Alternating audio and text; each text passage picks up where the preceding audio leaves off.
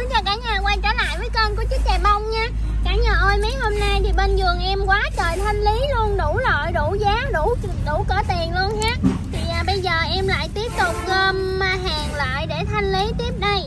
Thì à, hôm nay em sẽ có một cái lô cút thợ hôn hình con rắn và hình con rồng nha cả nhà. Đó, hình con rắn và hình con rồng nó đủ kiểu như thế này đây. Ừ, đây nè cả nhà. Đó, đây ha, đây là con rồng nè, con rồng nha á này là hình con rồng á, cái thường á cái loại này em bán 200 á cả nhà. Hôm nay em bán ờ, uh, 100 thôi nha mà ba cây thì em bao ship luôn. Đó thì đa số là con rồng nha con rồng với con rắn cả nhà. Đó cây này là cây cúc thọ hương nha. Nó chiều cao nó cũng khoảng hơn gan tay em á nhưng mà chủ yếu là cái bộ đế của nó rất là đẹp nha. Đó đây nè này con rắn ha. Con rắn cái này ai mua về trồng đất ngon lắm á cả nhà con rồng nè.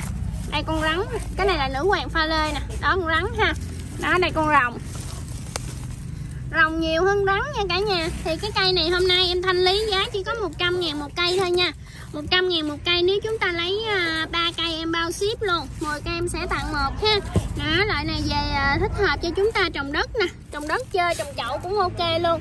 Đó có mấy cái rễ quấn bí nè bí bự nè rồi bính. Đó tùm lum hết. Đó thì cái lô này uh, số lượng có khoảng 20 cây thôi cả nhà.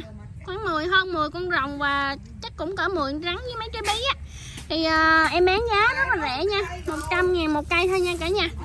100 ngàn một cây thôi thì uh, nếu mà chúng ta lấy 3 cây bao ship và 10 cây bên em sẽ tặng một nha. Đó đây cả nhà. Ừ, đây rồng ha. Rồi nếu thích hãy alo cho vườn mai nhà em nha cả nhà. Xin cảm ơn cả nhà đã quan tâm theo dõi ạ. à.